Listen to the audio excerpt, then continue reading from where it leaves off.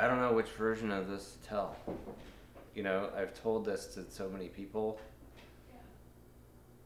You know what I mean? So, Mark is currently in the hospital, and tomorrow will be will mark the he'll, he'll be have been in the hospital for four weeks tomorrow, and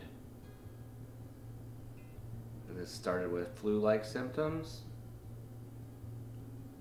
and then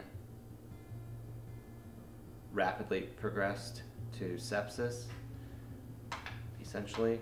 So the infection was became systemic, and um,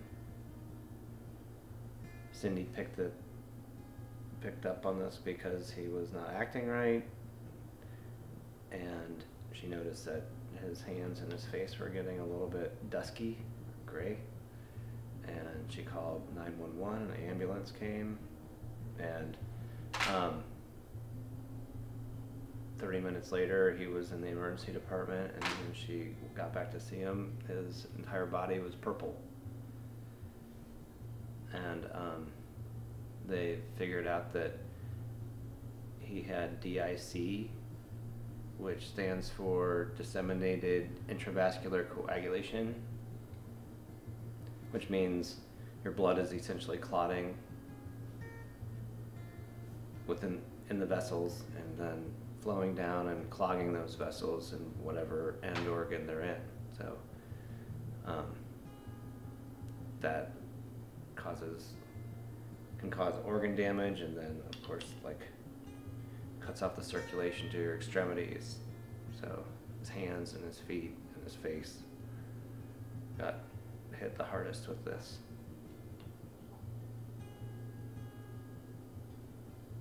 So he got transferred a week and a half ago to OHSU, and since then, um, he's had one surgery on his hands. Um, and they had to amputate all of his fingers and his thumbs.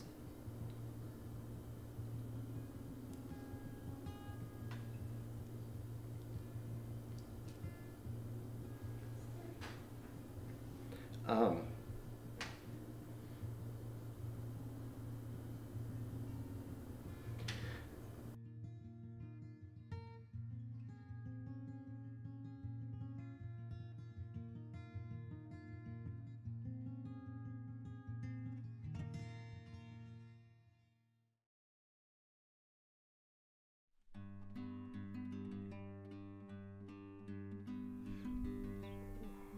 Well, it's our turn to, to, to do something for Mark and to, to help him.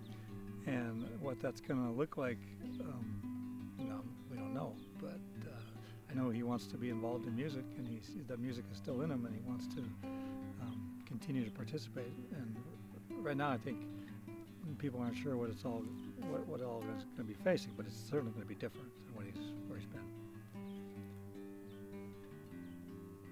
So we all want to help him in whatever way we can. So through donations and, and reaching out to them, I think all, that's all going to be needed. Yeah, he would definitely be there for us and for all his friends. So.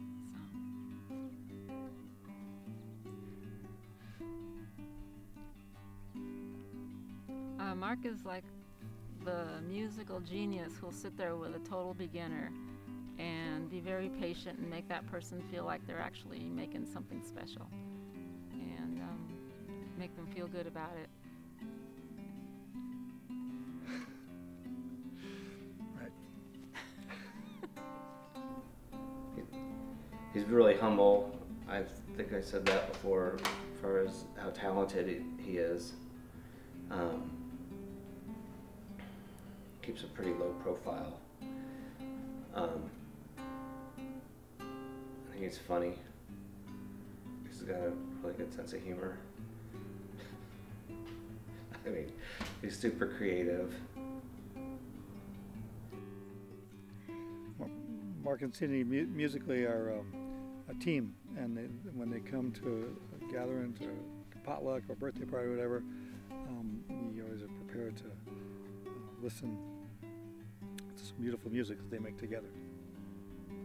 And friendships are very important to them. That they will come for miles to see their old friends here in Siskiyou County. And over the years, they don't forget those friends. They make a real effort to remain in touch.